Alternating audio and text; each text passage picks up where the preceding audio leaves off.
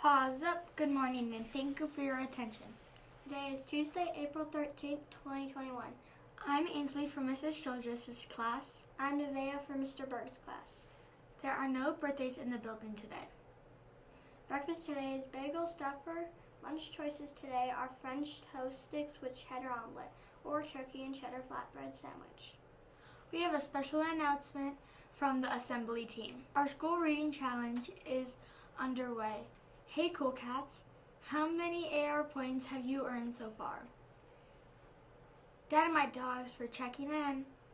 How are you doing on your reading? Congratulations to Mrs. Claudet's class. They have met their math goal again.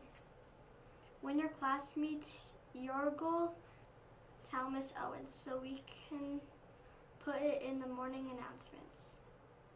You don't have to have all and all the answers, but don't try to lie or hide things either. How can you be honest with yourself today? Please join me in saying the school mission statement. At Acres Green, we are creating leaders one child at a time.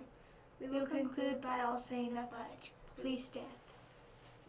I pledge allegiance to the flag of the United States of America and to the republic for which it stands, one nation, under God, indivisible, with liberty and justice for all. Thank you and have, have a great day. day.